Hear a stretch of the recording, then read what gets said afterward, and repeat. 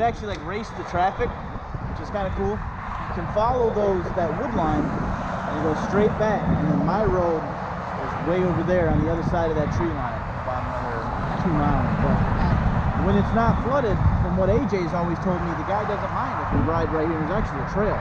And it goes all the way around. Um, you come out by some houses on the other side, but it's probably shit, right? I would imagine it, it looks fine now, but if you see it kind of dips Oh, down, it's going to be flooded probably around the middle area. There's like a dark spot like right there a little bit. Yeah.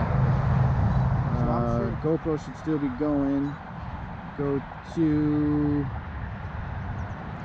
Yeah, you know what? Let me let me uh let's let's take a sec. I want to get some pictures.